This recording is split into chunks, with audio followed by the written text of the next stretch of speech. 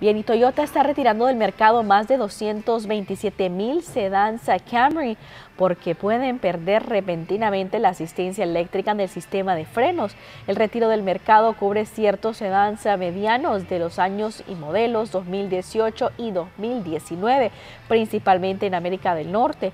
Toyota dijo este miércoles en un comunicado que algunos componentes del sistema de frenos pueden desgastarse prematuramente. Si los frenos de potencia fallan, los frenos seguirán funcionando sin la asistencia de potencia. Sin embargo, la pérdida de asistencia de potencia podría aumentar la probabilidad de que el conductor se accidente. Visite toyota.com diagonal recall escribiendo el número de VIN de su auto para obtener más información.